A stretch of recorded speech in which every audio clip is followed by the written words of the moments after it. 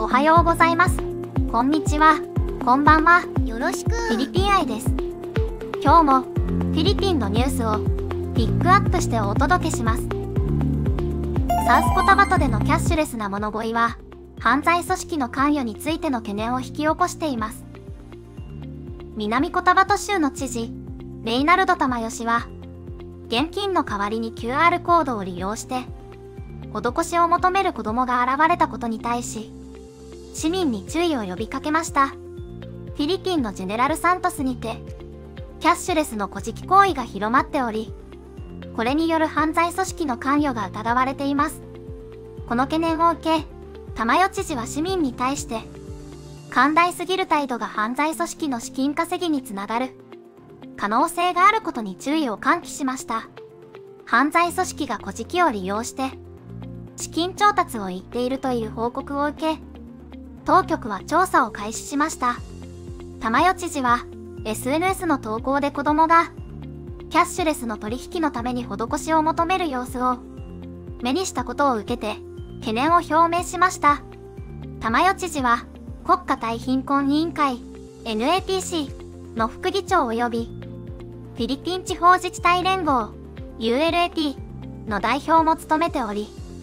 公共の場で困窮した人々が古事記行為を行うことは、自費と注意のバランスを要する地方自治体の多くが、直面する課題の一つだと述べました。彼は、古事記行為に関する1978年の法律が、依然として有効であり、施しを受ける人々だけでなく、施しを行う人々にも責任があることを警告しました。玉代知事は、マルコス政権時代に制定されたこの法律は、古事記行為において子供や幼児が搾取されることから、彼らを保護するために存在していると述べました。彼は、子供を路上古事記に利用する親は、罰金や投獄の対象となる可能性があると警告しました。古事記行為は、慢性的な貧困、限られた医療、頻発する自然災害、組織化されていない社会構造、不十分な教育など、様々な地域で続く、悩ましい問題の結果として生じています。1978年に制定された古事記行為を禁止する法律は、南コタバト州や他の地域で路上での古事記を防ぐことはできていません。特に都市部では、子供や幼児を利用して同情を引き出し、彼らを危険にさらすことがあります。退職した学校の教師シレベロさんは、玉代知事が懸念と警告を表明したことについて、不快感を示しました。なぜ古事記に対して行動するのか？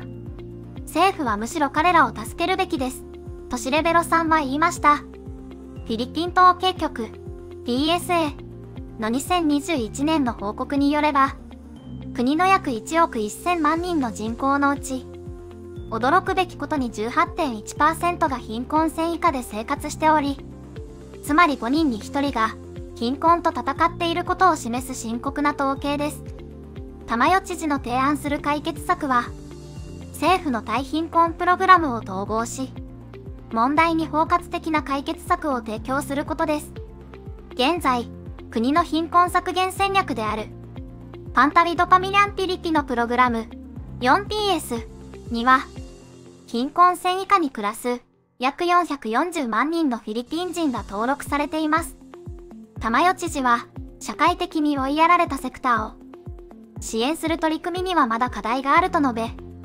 地方自治体が重要な役割を果たすと強調しました。特に包括的な地域ベースのモニタリングシステムを通じて取り組むべきだと述べました。彼は自身が代表を務めるフィリピン地方自治体連合にこの問題を持ち込み地方自治体の関係者が議論し国の都市部で長期にわたって深刻化している問題に対処するための戦略を考案できるようにすると述べました。2022年12月10日から14日に行われた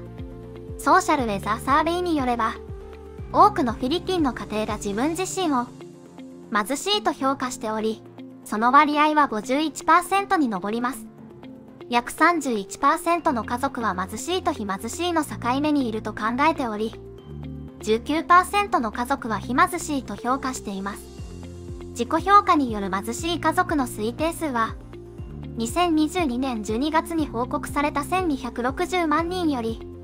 わずかに増加し、1290万人となりました。以上となります。今日も目に留まったニュースをピックアップしました。最後までご視聴ありがとうございました。また、チャンネル登録、高評価いただいた方へ、大変ありがとうございます。どうか素敵な一日を迎えてくださいね。ではごきげんよう。バイバイ